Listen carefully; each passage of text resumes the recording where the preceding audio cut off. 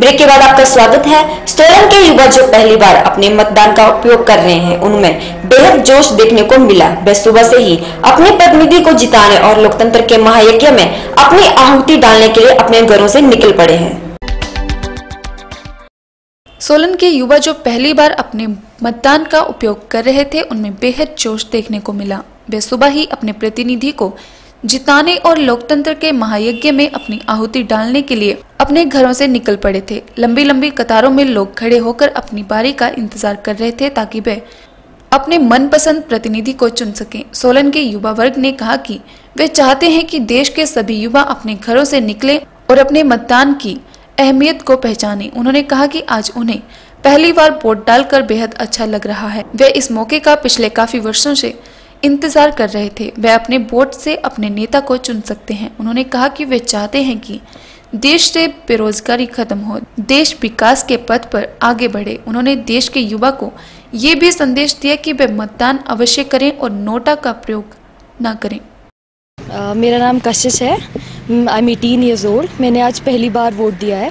मैं काफ़ी साल से इस दिन का वेट कर रही थी, क्योंकि फाइनली मुझे अपना ओपिनियन वॉइस करने का मौका मिला है। और मैं चाहती हूँ जो भी सरकार आए, वो हम यूथ के लिए कुछ करें। Education first of all reservation obviously हट जानी चाहिए या कम हो जानी चाहिए। क्योंकि जितना मैंने देखा है, हम लोगों को जनरल कैटेगरी को कॉलेजेस में एडमिशन नहीं मिल पा रही है, क्योंकि एस सी वगैरह का रिजर्वेशन की वजह से। जॉब्स होनी चाहिए इंजीनियरिंग डिपार्टमेंट के लिए जॉब्स ही नहीं है। सो जॉब्स के लिए। First time voted and it's just for the change so that the youth could go forward and more employment should be there.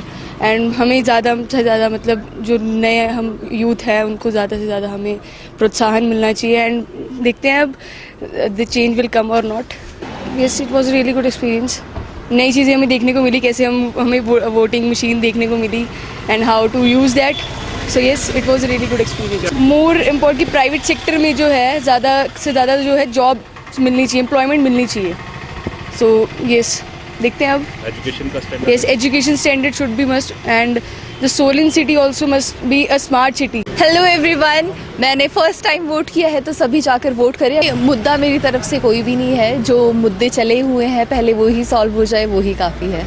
मैं सबको ये कहना चाहता हूँ कि देश हित में मतदान करें चाहे आप किसी भी पार्टी को बस पहले मतदान हो। आप नोटा का प्रयोग ना करें ठीक है जी और हम तो चाहते हैं कि देश का भला हो। तो ये था दिन भर का कार्यक्रम। कल फिर हाजिर होंगे नई गतिविधियों के साथ। आप ऐसे ही जुड़े रहिए एस टूडे के साथ। नमस्कार।